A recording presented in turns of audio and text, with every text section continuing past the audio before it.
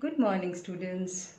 I hope you all are healthy and enjoying your online sessions. In our session 1, we learned about force, its effects, and in types, we learned about gravitational force. Today, we will start with frictional force. Question is How does frictional force work? When two things come in contact with each other, a special force called frictional force acts between them.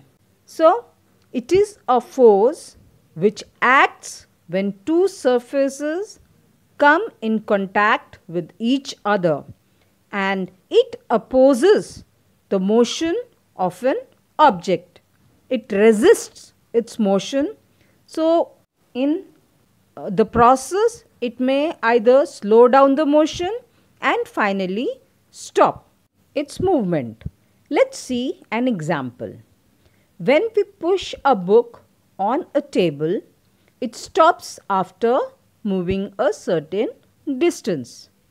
This is because the frictional force acts between the surface of the table and the book. So, it slows down the movement of the book till it stops. Let's see few more examples of frictional force in our daily life. Frictional force helps us to walk on the ground. It is because of this frictional force we are able to walk. We are able to write because of frictional force. When the tip of pen or pencil comes in contact with paper, frictional force is created. When we rub our hands, heat is generated. This is again because of frictional force between our hands. Sliding down a slide. Again frictional force.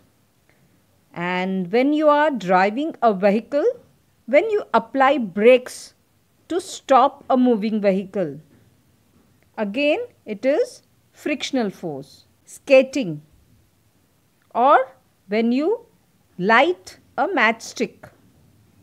So these are some of the examples which you find in your daily life. Let's investigate. Children, you can try this at your home. Aim is to observe the action of frictional force. Materials required a pencil box, talcum powder and sketch pen. Procedure Place the pencil box on the table and push it so that it moves forward. And mark the point till the box moves. Now take the pencil box, put some talcum powder on the table and slide the box again. So this time your pencil box moved little farther from the earlier point, isn't it? So what is your observation?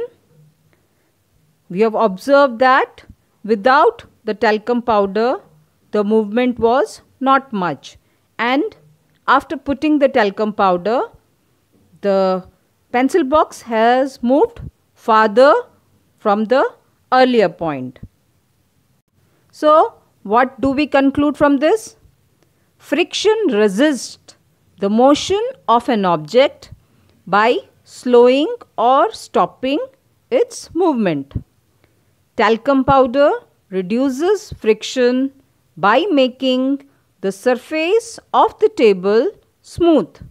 Smooth surfaces such as polished marble, tiles and glass cause lesser friction than rough surfaces such as sand, rug and cemented floor.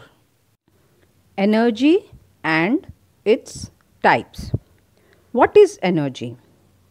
Energy is the ability or capacity to do work, such as capacity to move an object by the application of force. This is called energy.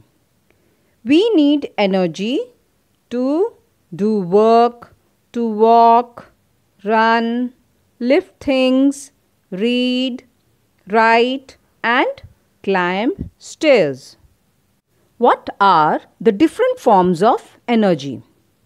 Energy exists in many forms such as mechanical energy, chemical energy, light energy, sound energy, heat energy, electrical energy and magnetic energy.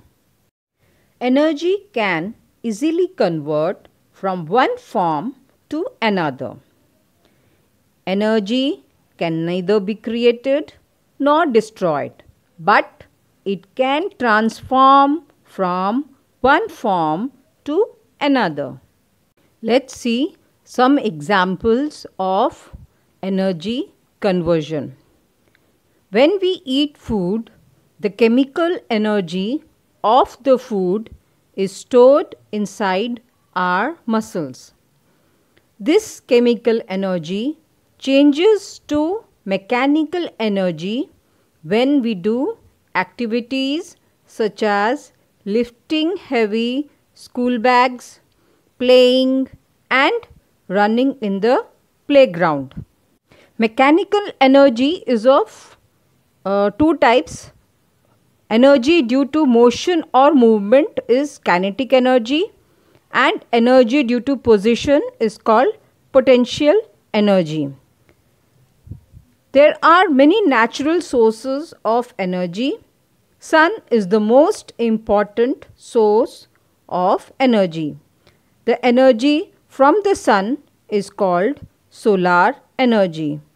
Heat and light that come from the sun is converted to electrical energy that is electricity using solar panels. Similarly, wind energy, wind turbines are used to convert wind energy to mechanical and then electrical energy. Similarly, hydroelectrical dams, water energy is used and it transforms the kinetic energy of water into electrical energy. If we boil water in an electric kettle, so we are converting electrical energy to heat energy. Similarly, a battery, if it is used to glow a bulb, so what happens is we are using chemical energy and converting it to electrical energy. And when an electric fan moves, so it transforms electric energy to kinetic energy. A vehicle moving is an example of chemical energy and it converts chemical energy to mechanical energy a ball falling from a height towards the ground. So what happens is potential energy of the ball is converted to kinetic energy. So these are some of the examples of conversion of energy from one form to another. Children, there is an interesting homework. A. Write whether the following situations are an example of gravitational or frictional force. First one, a boy running on a track. 2. An apple falling off a tree. 3. A child walking on a rough tile. And fourth, a cricket ball being caught by a fielder. B. Give two examples for each of the following. First one, two types of forces. Second, two natural sources of energy, third, two effects of force, and fourth, two actions which require you to use energy. We will discuss the answer in the next session. With this, we come to the end of this session. Keep learning. Bye.